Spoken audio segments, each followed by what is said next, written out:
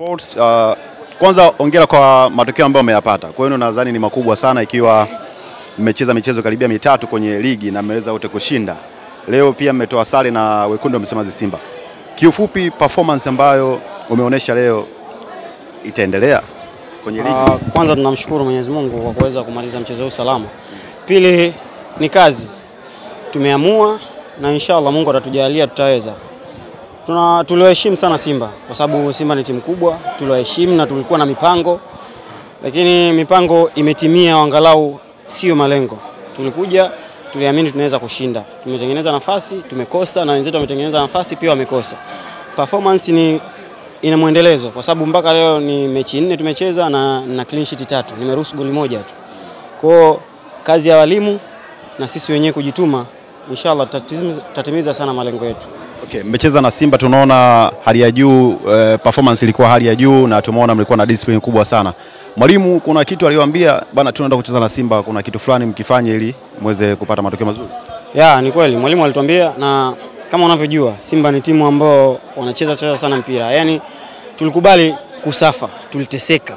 Kwa hiyo tulikubali hiyo hali kwamba tunaenda watatutesa na sisi tutawatesa tukipata. Kwa hiyo tukipata mpira tunaucheza, tukikosa mpira tukubali kuwa watumwa kuutafuta mpira. Plani ya mwalimu ilikuwa ilikuwa hiyo, na ndio maana umeona Simba walikuwa wanacheza na sisi tukipata pia tunacheza. Ni mipira michache sana uliona watu wanabutua, lakini mipira mingi ilikuwa ni ya kucheza. Ukiwa kama golikipa leo ulivyoingia uwanjani, mchezaji gani ambaye ulikuwa na hofu naye wa Simba ukasema kwamba "Ah, akiingia kwenye boksi kuna balaa? Bwana ni wengi sana. Unaweza kutaja? Ah, wachache. naweza kutaja kwa sababu tunawaona wakicheza. Kwa hiyo tunajua kabisa mtu kama Chama ana balaa akiingia kwenye kwenye boksi, mtulivu. yani ni mtulivu kabisa, anamwangalia golikipa kakaaje, anapeleka mpira wapi.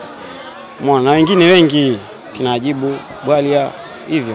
Okay. Kwa muda mwingi sana mmeshuka uh, kwenye ligi kuu. Tunaona sasa performance kubwa uh, kwa watu wengine pia wakiwa wanafananisha na timu nyingine uh, African Lyon, nyie mnatokea Tanga. Unaambia nini mashabiki wa Tanga ikiwa kwenu tunaamini kwamba mlikuwa na kikosi kizuri na mlikuwa na Coast Union, tunaona yani performance yenu ilikuwa iko vizuri na dabi ya Coast pamoja na nyewe tunaona ilikuwa kubwa. Mnaambia mashabiki wa, wa, wa Tanga? Ah, mashabiki wa Tanga tunawaomba hmm. watuamini, watukabidhi furaha zao, kwa sababu tumedhamiria kuwapa furaha na watukabidhi furaha zao, na sisi tutajitahidi kadri ya uwezo wetu kuwapa furaha na wao, ila wawe nyuma yetu, kwa sababu mpira una wachezaji kumi na mbili, wa kumi na mbili ni shabiki. Kwa hiyo kama shabiki anakuwa hayupo pamoja na wewe, inakunyima nguvu ya kufanya kazi.